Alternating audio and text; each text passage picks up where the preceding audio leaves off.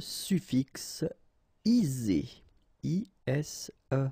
R. Okay, so after having uh, doing some videos uh, regarding les préfixes, now we'll try to see a little bit uh, what we call les suffixes. Okay, so uh, les suffixes, actually, we're talking about these uh, letters that you can put or you can add at the end of existing words, and by adding these letters, you will modify it or you will change the meaning or in that case we will change adjectives into verbs. Okay so that's the whole idea of this video.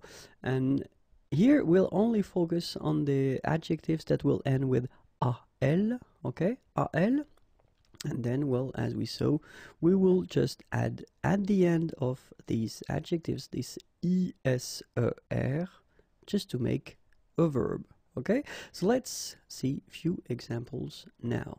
And the first one is banal. Okay, so here is the meaning in English. Okay, so if we want to make a verb out of this adjective, then we only need to, as I say, put this ESER at the end, and then you will get banaliser. Banaliser Okay? So, adjectif banal, verbe banaliser. Brutal, and then we will get brutaliser. Okay? Brutal, and then you just add this ESER at the end, and you'll get brutaliser. Central, centraliser. Okay, exactly the same way.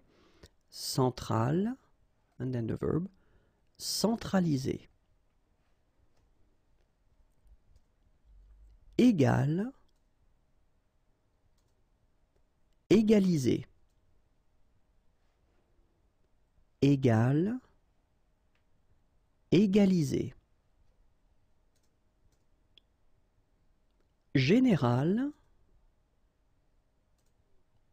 Généraliser. Général. Généraliser. Légal. Légaliser. Légal. Légaliser. National nationaliser national. Nationaliser